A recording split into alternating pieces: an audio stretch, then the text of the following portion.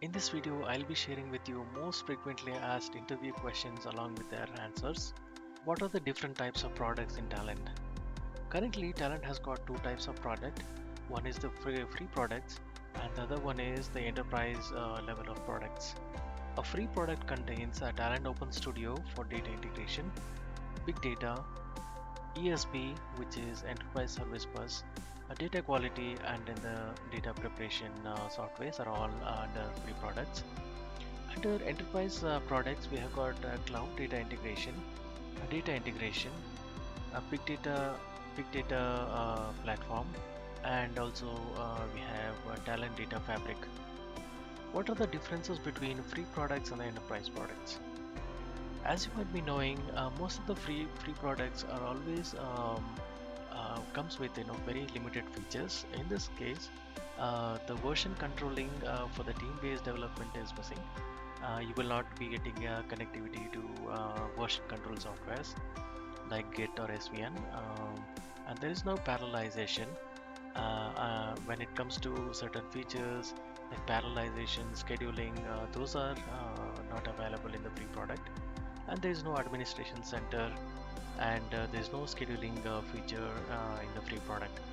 And hence, um, free product, the Talend Open Studio is good only if you are uh, trying to learn the tool, uh, do the development locally, and then execute it and uh, monitor you know, manually so if you want to uh, do uh, all the other uh, features you should be going along with the enterprise uh, suite of products the next question is uh, what is the latest version of the talend now this is most frequently asked question and most of the people they do not uh, know or um, up to date with the talend um, you know releases.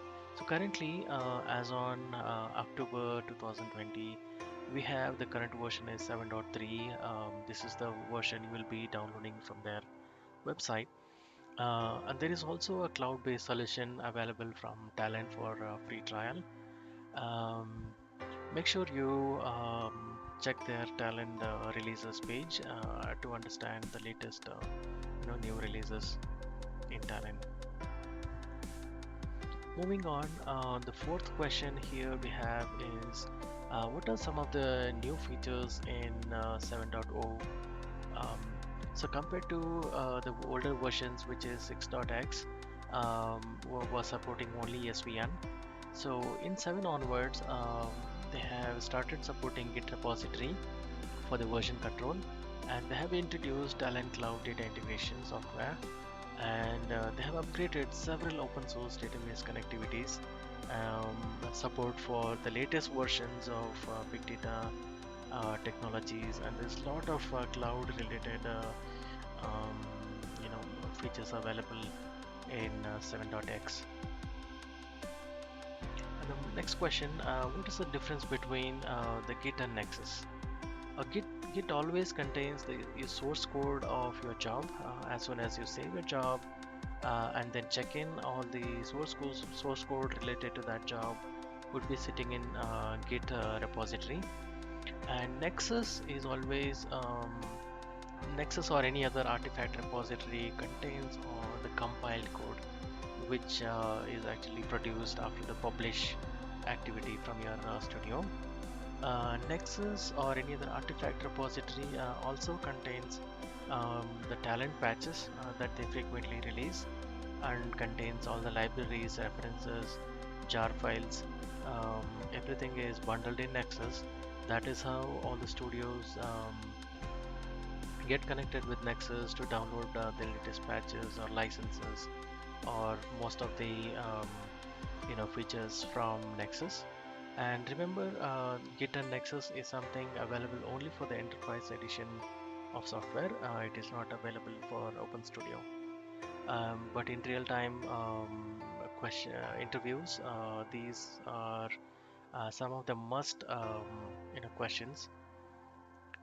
Um, all right so we are done with five questions so far. Moving on. Our next question is um, what are uh, the different components involved in the talend architecture? So talend architecture contains um, the studio, the job server, the runtime servers, uh, Talend Admin Center, uh, Nexus, and Git. So these are all uh, various uh, components in uh, the architecture. I have detailed, uh, I have already prepared a detailed video on this. You can visit to my channel and go to the section called playlist and under that you should be able to um, find the playlist called talend uh, tutorials. Uh, you can watch the other videos to understand the architecture better so that you should be in a good shape to understand um, more questions on the architecture. Alright, the next question is how do you publish your job? Once, once the job is uh, developed and tested locally, uh, all you do is uh, do a right click on the job and uh, choose the option called publish. So this activity uh, will generate, will compile the code, generate the final executable and publish to the artifact repository. So this is the process involved in publishing the job. The next question is how do you test your job locally and then remotely? So the local testing is very much limited to the studio wherein you can go to the run tab and click on run uh, or you do the debug or uh, do the memory run. Uh, so that is uh, testing locally. Uh, when it comes to remote execution there are a couple of ways.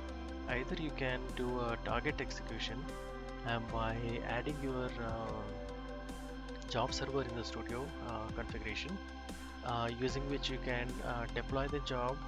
Being within the studio you can deploy the job to a target um, job server and get your job executed. That's one way. And the second way is um, using uh, the talend administration center. Moving on uh, the question number nine is what are global variables and how they are used? Global variables are very important um, uh, variables uh, in talend. Uh, people get uh, often confused with global versus context. Um, each, uh, even though uh, these two variables are one and the same, it has a variable and a value associated with it. The global variable is used for any business purposes or logical uh, grouping of variables uh, and you can set the values uh, dynamically you can set the values and then reuse by you know multiple sub jobs or parent uh, job.